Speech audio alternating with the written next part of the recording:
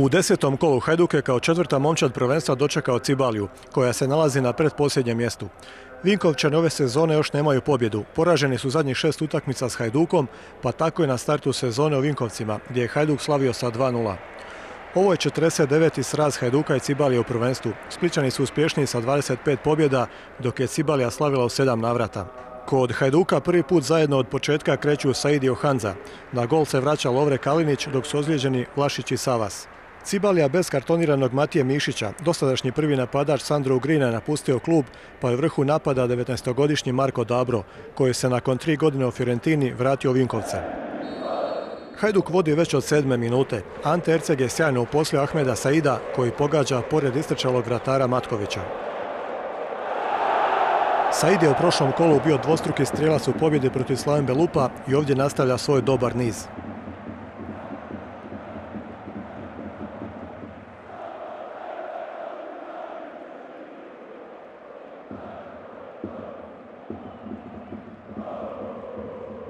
Vinkovčanima je trebalo neko vrijeme da se oslobode pritiska i postane opasniji. U 27. Marko Dabro odigrao povratnu loptu za Edija Bašu, no ovaj puljanin redovima Cibalije puca pored gola. Pet minuta kasnije Hajduk je bio blizu povećanja prednosti. Udarac Ante Ercega odsjeda na vratnici. I onda šok za domaće navijače. Tomislav Čuljak je prevario svog čuvara Juranovića, ubacio u 16 metara, a Frane Vitajić spušta za Marka Dabru. I rezultat je 1-1.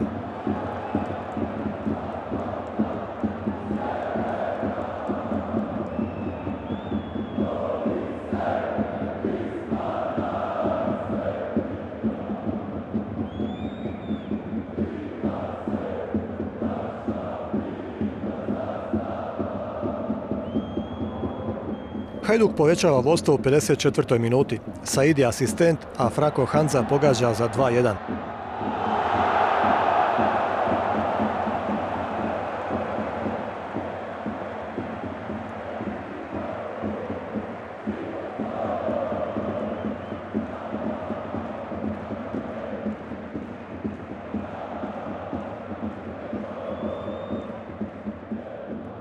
Tri minute kasnije Tudor promašuje sjajnu priliku nakon dobre akcije Kožulja Johanze.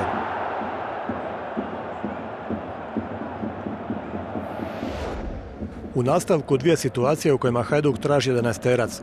U 61. Said s ubacivanjem, je li tu Zgrablić igrao rukom?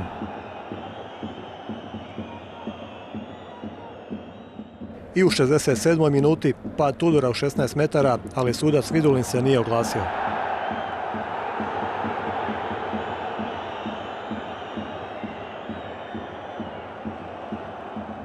Prekid za Spličane u 71. minuti. Lopta se vraća Zvonimiru Kožulju koji zabija fantastičan pogodak za 3-1. To mu je drugi gol sezone i oba je zabio Cibali.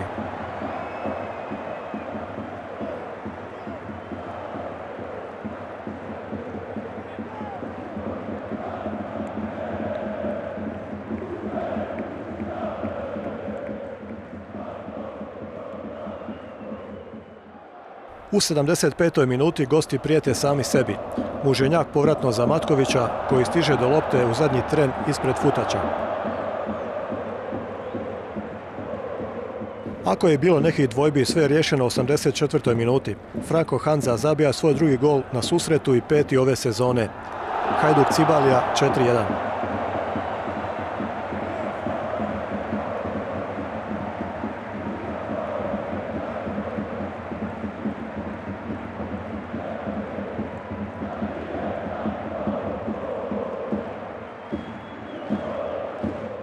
Do kraja susreta još dvije lopte u gostućoj mreži. Najprije 87. nakon prekida Maganta pogađa Jefferson za 5-1.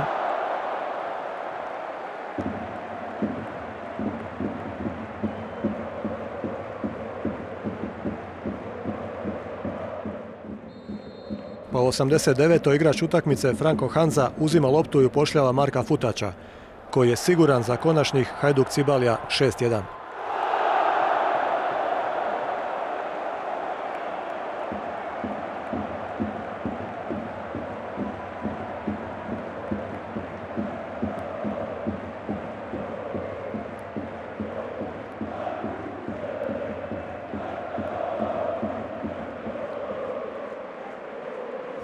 Mislim da smo se trudili prvo polovreme da dobro odigramo, na kraju krajeva izjednačili smo Mislim da, da je bila pristojna igra, bez obzira što Hajduk možda ima tu jednu stativu ili priliku, da, da su igrači bili motivirani i da je bilo sve ok. Međutim, u drugom polovremenu dogovorili smo se da igramo još čvršće tu u sredini, probati kroz polu kontru, kontru, napraviti neke situacije i sve je to dobro djelovalo do drugog gola kad smo ga primili iz avuta, jedna, reka bi, nepažnja. Međutim, poslije toga praktički ko da sam u ekipi ima neke skretničare i, i, i skoro 80% šuta prema golu završilo je gol. Treba ostati skroman, tvrd, još tvrđe raditi, to je moja poruka igračima, nikakve euforije nima, nema tu, ali svejedno treba biti samo uveren, dali smo 16 golova posljednje tri utakmice, to da igraš e, sa djecom na ulici nije lako, a ne sa ozbiljnim momčanima, e, znači vesao sam toga, pre svega sam e, vesao toga da nas navijači zaista bodere skroz celu utakmicu, to je ono što Hajduk diže. Sad predstaje pred nama 7 dana i da se pripremimo za Dinamo. Dužni smo dati puno bolju predstavu nego u prvoj utakmici, ali kako kažem, tvrdi rat, skromnost i idemo dalje.